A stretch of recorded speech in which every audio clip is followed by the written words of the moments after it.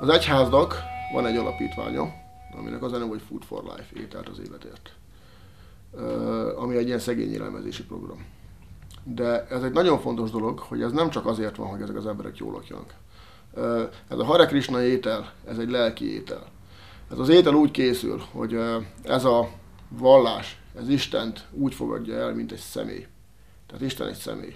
Igazából nem is jól fogalmaztam, mert, mert nem kell ilyen lehetőségeket hagyni, Isten egy személy, pont. És mivel Isten egy személy, őt a bakták úgy imádják és szolgálják, ahogyan egy személyt szoktak. Tehát az oltáron állnak a murtik. Ez a murti szó, ez azt jelenti, hogy Istennek az anyagból készült képmása.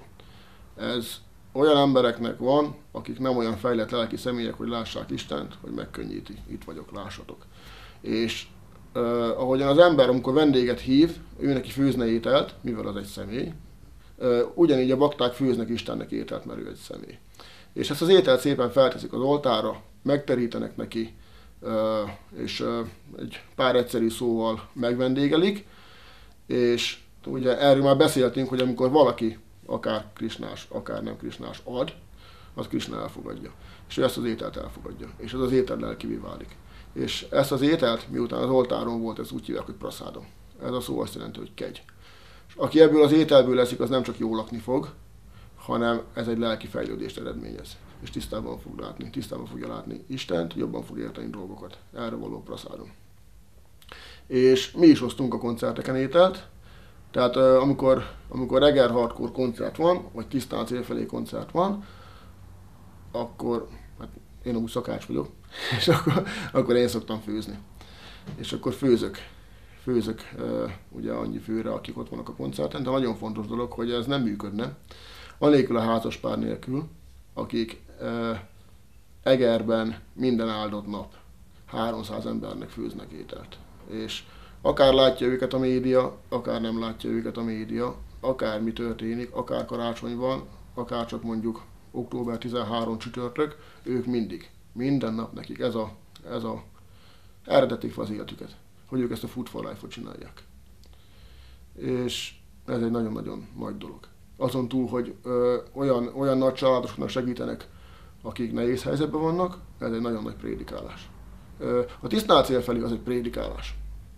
És ebbe a prédikálásba igyekszünk bevonni minél több ember. Tehát aki akar, az, az jöhet. Ahogyan a másik három barátom a zenekarban, még hogyha nem is, nem is krisnások, a szó mondjuk szigorúan vett értelmébe, de, de ők részt vesznek ebbe a prédikálásba. És ahogy ez a, ez a, ez a házas pár, akik ők is nagyon, nagyon kedves barátaim, ők pedig ezzel vesznek részt ebbe a prédikálásba, hogy, hogy ezzel segítenek minket, és van egy, van, van még egy srác, aki pedig ezt anyagilag támogatja. És ő is egy olyan ember, aki nem tud, aki nem tud krisnás lenni, mert ő, mert ő szeret élni.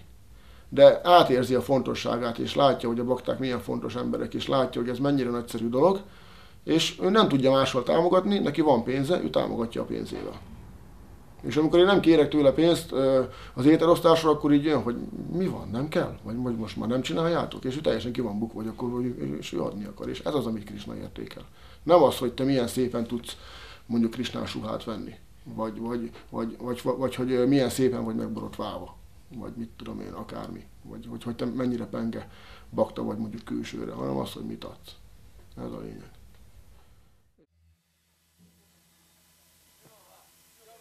De hogy valami készül, az egészen biztos. Na hát ez igazán nagy meglepetés.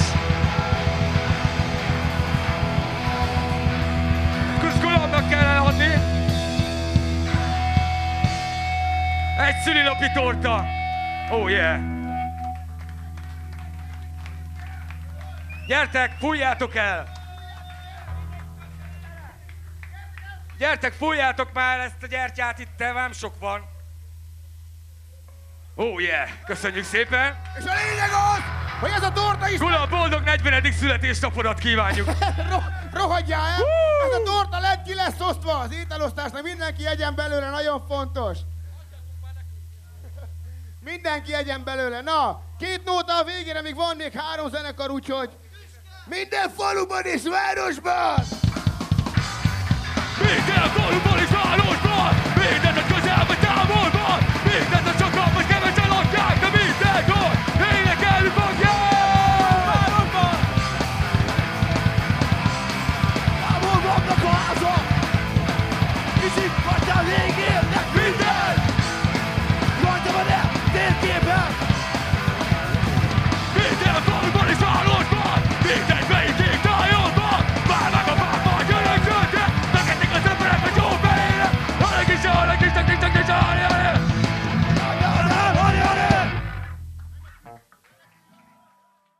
Az Eger Hardcore az nem egy új keletű dolog. Az Eger Hardcore az 30 éves. Az Eger Hardcore olyan zenekarokon indult, mint a Kukurikú, a Gustus, az Egri Csillagok, ez, ez volt ugye 80-as éveknek az elég, eléggé eleje közepe, akkor a Kizár dolog, és még lehet, hogy még pár zenekart ki is hagytam, és akkor utána, utána folytatódott 87 körül. Jött a Boston Klinika, utána jött a Fermentáció, jött a Corps, ebben játszottam is kutya a tangóból, ebben erre büszkék vagyunk a mai napig, 20-20 évesen. És akkor volt, volt a gerben még Flag of Fate, akkor a gerben még Égi Jelek, volt a gerben Anger, ami most újra alakult, és ők újra játszanak. És hogyha valaki lemaradt, akkor bocsánatot kérek érte. És aztán pedig 99 körül jött a tangó, utána 2003-ban jött a Tisztán, Genetika, 2001 beindult a Genetika, és utána pedig mostanában jött a Cannonball, és akkor van még nekünk Egerbe. Szükségállapot, téveszme. Tehát ez egy, ez egy 30 éves történet, ez az egész Eger hardcore dolog. Ismét visszapillantás a történelembe, kicsit távolabbra. Az egri csillagokról egy nóta. Legyenünk komolyan! Buzi, aki nem táncol!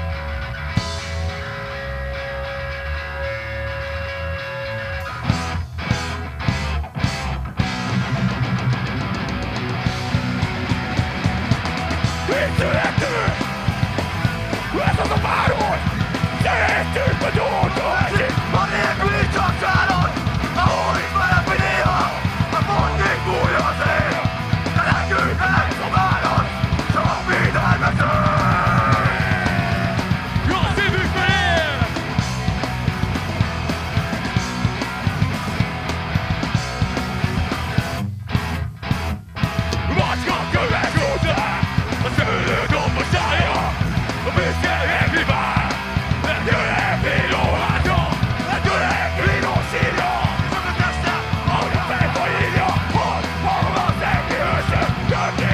Get